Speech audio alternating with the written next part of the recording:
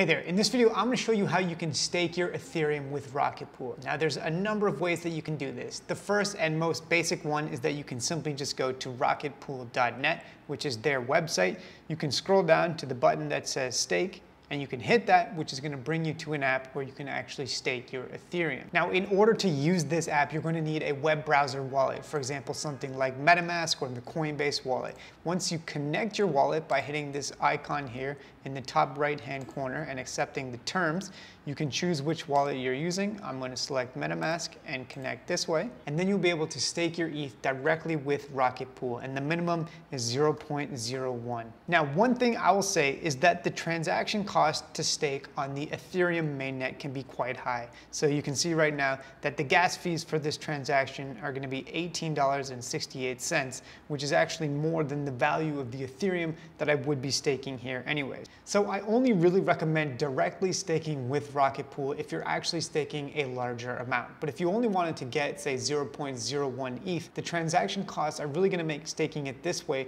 pretty impractical. So there's actually a few ways around that, which I'll show you now. First is that you can go to a decentralized exchange, something like Uniswap, and then you can select which token you want to swap into, and you can just buy the RETH, which is a token that represents staked ETH and actually accrues the staking rewards directly. So you can actually make a trade for RETH this way. And as you can see, the cost for this transaction is $6.11 because making swaps on the Ethereum network costs slightly less than actually staking on the Ethereum network. So this is one workaround where you can reduce the costs of staking and still have ETH on the Ethereum mainnet, which as I'll talk about in future videos, for example, when it comes to restaking with the EigenLayer, that is important. You have to have ETH sometimes on the mainnet. And you can do this on other exchanges as well. For example, one that I like to use is Slingshot because there's speculation they might have an airdrop at some point in the future and you can choose which token here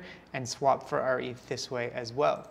Now, one other trick that you can use to stake your ETH and save even more money on transaction costs is by doing it on a different layer 2 Ethereum network. So ETH mainnet we know is the most expensive, but these different layer 2s have much lower gas fees. And so for example, if I wanted to stake my ETH on Optimism, which is one of the layer 2s, I can do that. I can swap ETH for RETH or I can swap any other token for RETH on the Optimism network. And the transaction costs, as you can see here, are going to be approximately 52 cents as opposed to $6 to swap on the mainnet or $18 to stake directly with Rocket Pool. So this really is the cheapest way that you can stake your Ethereum is by doing it on a layer 2 network and by swapping on a decentralized exchange. And once you have those RE tokens, they automatically accrue the staking rewards for you. Currently, the APR on average is 4.31% per year. Good luck.